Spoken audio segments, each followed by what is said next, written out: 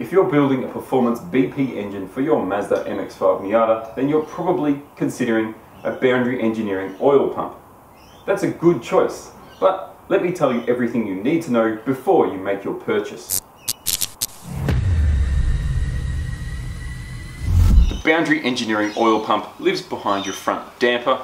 It's a great option for an upgrade on a performance engine where you're going to be seeing higher performance, higher revs, where the stock oil pump could potentially fail, the gears can fail and that's not good. You'll lose all oil pressure and effectively you'll lose your engine. The boundary pump gears are machined to very high tolerances and are a perfect fit inside the OEM casting, which is also supplied brand new from Boundary Engineering. However, there are a few different configurations that you need to be aware of.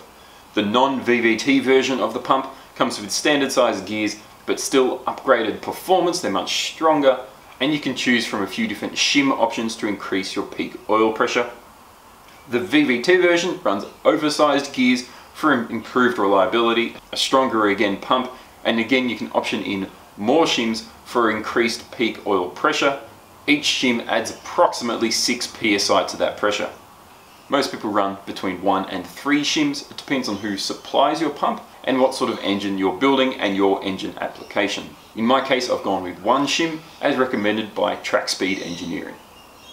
Now do keep in mind if you're running a 1.6 short nose crank you may need the smaller custom gear set to suit these pumps. Uh, make sure you check your engine first and get in touch with your supplier before you make your purchase.